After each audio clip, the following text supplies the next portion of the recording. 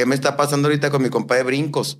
Es un pinche suceso, güey, de en ventas y en todo, güey. Es- Está cabrón porque tiene una facilidad de poder interactuar con el, gru- con el público y decirle cosas, este, a lo mejor hasta fuera de lugar, que se hacen divertidas. Ujú, Inclusive hasta, hasta para el, a la persona con la que está bromeando. ujú, ujú. Le hacen fila para subirse.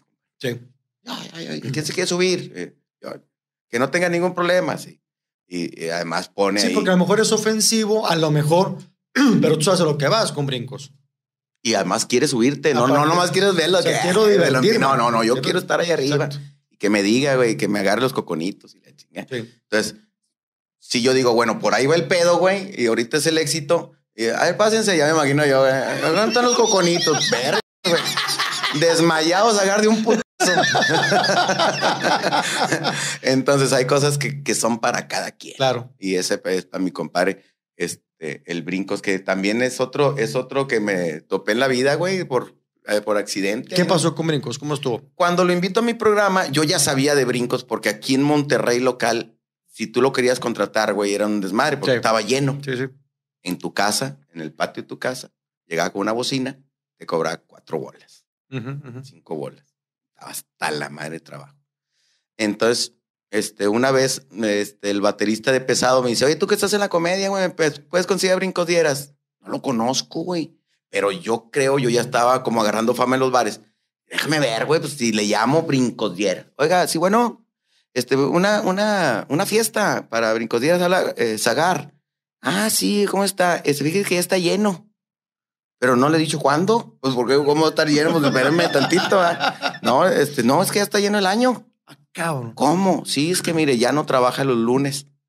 Y, bueno, el martes. El martes, no, ya está lleno, porque agarra cinco diarias. Ay, güey. Ay, güey. No, hasta el madre de jale, güey. Y un éxito. Entonces yo cuando tengo mi programa, y háblale brincodera, es un güey que aquí es un desmadre en, en local, ¿no? Cuando entra mi programa, compadre, si yo hubiera tenido, por ejemplo, de conectados dos mil personas, por poner un ejemplo, ¿no? Con él hubo 14 mil personas. Y así, güey, todos pálidos, yo, que, que no funcionó algo, que no. Y el güey agarró par y me escupió. Perdón que te interrumpa, es que ya él ya estaba famoso con un video que fue cuando La Chivas- quinceañera. no, con- con- No, con todavía no. Chivas- Ah, ok. No, fue antes de eso. Sí, fue antes. Ok, ok. Este, fue con uno, uno una de una quinceañera. ok. Eh, ¿Tú qué? Me dije, ah, estás bien jodida, le, le chinga. Y ese video ya se le había ido uno. ok. Entonces, este, entonces cuando ya jala conmigo, ya se acaba el programa, nos salimos de la banquetita de la casita donde hacía lo de la barra, En el estudio. en el, en que era la casa de mi mamá, y Sí, luego sí. se hicieron Yo fui ahí las, la- las oficinas, exactamente, compadre, fui. donde fuiste. dos veces. Y nos echamos un cigarrito de afuera. Este, dije, compadre, te tengo que decir algo, güey, sí. Rompiste madres, güey. Chingo de gente te quiere ver, compadre. Y estás hasta la madre. Me diste no el doble ni el triple, ni chingo de veces más que lo que da mi programa. Claro, yo no era la mamada de, de nada, ¿no? O sea, eran numeritos muy tranquilos pero aún así me dio un chingo. ¿eh? Entonces, bueno, yo ya andaba produciéndome mis eventos. Entonces le digo, este, tengo un evento en Saltillo, güey. ¿Qué te parece si vamos, güey? Y vamos juntos. Y entonces, ah, estaría con madre, no mames. chingada. ¿Cómo le ponemos? Se los cargó el payaso. Este, José Luis Agar y Brincos 10.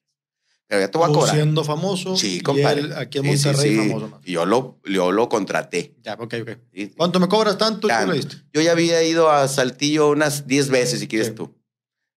Lo mismo, pero ahora en boletos. Cuando llegué yo, ¿qué pedo? No, güey, no cabe la gente aquí, güey. ¿Por ¿Cuánta qué, güey? ¿Qué pasó? Era un bar que le cabían unos 1200 personas. Ay, cabrón. ¿Es mucho? No, es un bar grande, güey, que Sí, es, como grupero. Ok, ok. La buena y la mala es actualmente. Ok. La buena y la mala. Ahí está la firma, ahí va este, to- toda la, la raza grupera ahí. Un barecito chingo. ¿Qué pasó, güey? ¿Qué, qué le regalaron o qué? No, nada. Bien hasta la madre. Entonces, si yo normalmente metía, por poner un ejemplo, 500 personas, había 1200 personas. O sea, estaba hasta la madre. Y el güey me cobró 20 bolas. Como estos, en puros de a 20 para que, para que se chiflara. Para que se viera Le di montoso. tres paquetes. así. y de ahí, compadre, gracias a, a mis hermanos, que estoy muy agradecido, son gente muy inteligente. Dijeron, por ahí viene el putazo, güey. Venga para acá, payasito mamón. Fírmele. ¿Cómo, ¿Cómo ves, güey? Vamos a jalar pinche putazo que dimos y la chingada. ¿Cuánto, güey? Y cuán- este, no, pues si quieren, güey, así mero y la chingada. Y les cobro tanto. Y le dice Hugo, eh, un pinche movimiento así de ajedrez, cabrón. Mejora porcentaje. ¿Cómo, güey? Sí, güey, de las entradas, pagamos y la chingada.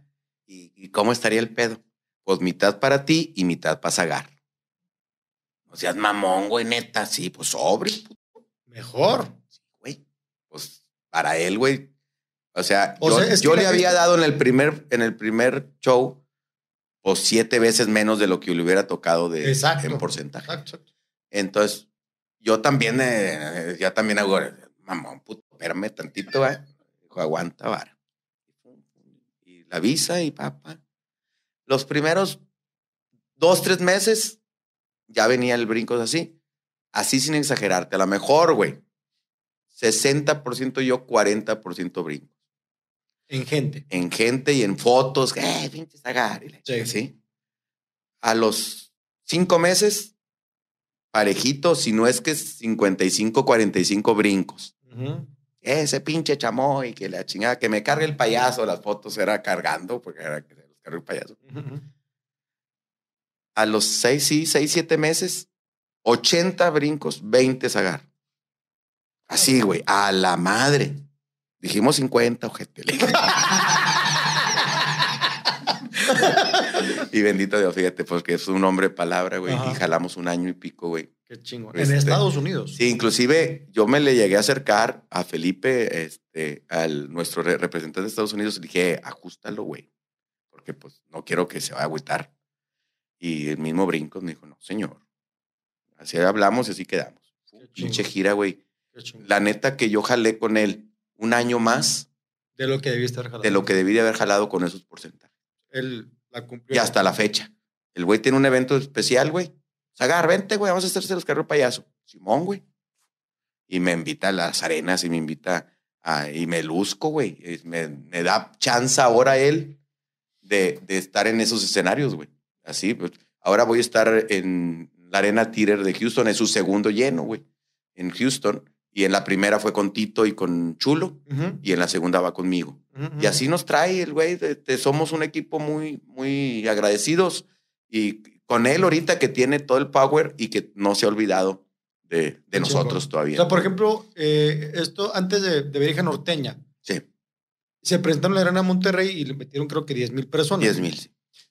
¿En qué porcentaje te consideras que metiste tú tant- cuánta gente? Yo creo que Elías Medina, Tito Ranchero y yo podríamos haber hecho un evento sin pedos, güey, de tres mil y pico de personas. Ya.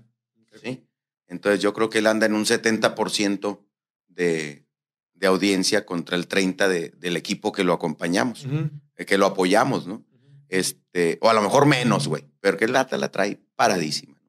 Este, y, a- y ahora que, que pues, eh, me, me cayó ahí la oportunidad este, de ir a dar la vueltecita a Europa, y lo vamos a hacer juntos. Qué chingo. Vamos a estar, se los cargó el payaso en los teatros de España y de, de Inglaterra, de Alemania, y todos vamos a dar una vueltecita bien chingona. Y vamos con ¿Para las viejas. La quincena de julio, la segunda quincena de julio, vamos a estar allá. Este, vamos con las muchachas y eh, va- vamos a pasarla bien y aparte, compadre, pues a, a vivirlo, güey. Claro. A vivir esa, esa experiencia. padre, me da mucho gusto. Muy chingón. Y quiero aprovechar tu, este, tu programa para mandar saludos a mi compadre y decirle así honestamente que estoy muy agradecido de que nos haya topado la vida, porque a mí me cambió la vida. A pesar de que me iba bien, este, con él logré un, un escalón que, que a lo mejor no lo hubiera logrado solo nunca. ¿no? Pues habla de, de un agradecimiento porque tú fuiste el primero que, que creíste en él de cierta forma, ¿no? Definitivamente. Este, Pero también con, o sea, con vaya, con un negocio medio, decir, Sí, ¿sabes claro. qué? Este, metimos 14 mil, acá va a ser... un- mi intención era, era trabajar y sacar dinero. Ujú. No sabía que eh, explotó la bomba cuando la teníamos nosotros en la mano. Bien. que eso también, pues, este, es la buena suerte también de, de Felipe y, este, y de la raza de Houston, ¿no? de Elite Entertainment, se llama la, la empresa que maneja a Pesado, a Invasores, a, Cardenales, a muchos grupos muy, muy exitosos. Y, no, y yo fui el primero que entró de comedia y por medio de ahí empecé a jalar ahora sí a toda la, a toda la raza que estábamos en, el, en esa bolita, ¿no? Que, era, que es Tito, Chulo, eh, Gobernatore, este, Sí. este, el Alan ya va a entrar para allá. Toda la racita que estamos aquí, este, que, que gusta, pues yo le abro la ventana y sobres, güey. Aquí está bueno la chamba. ¿Qué toma? Oye, Si gustas, si gustas, compadre, y mandar a la verga a Franco con todo confianza, dime y yo, y yo te, te, te jalo para allá. El peor es que no sé si yo guste. Y yo, si te van a aguantar 20 años, de ahí una vez.